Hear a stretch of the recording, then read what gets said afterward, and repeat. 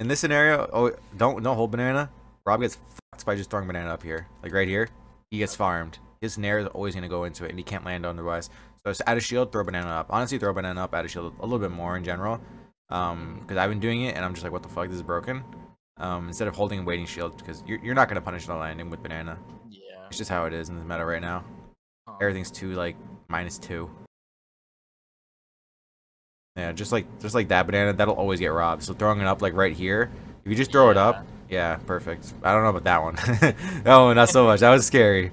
Um, jump hard toss. Honestly, hard toss it early so you can't let him go as high. Like as soon as you see that back air get here, or immediately before he does that back air, because what else is he gonna land? He, he can't fast fall that quickly to you. Um, just just throw it up so he can't pass this area, and then just farm this spot. So he comes here, and he just gets back aired or bananaed. So he, he just like has to go back to ledge. Yeah, just like don't like try and cut him off before he can actually. Get his Yeah. At least try and keep him in the corner.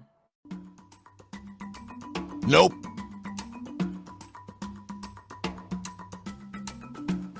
Throw that banana up. Oh, we caught it. That's so he annoying. got it.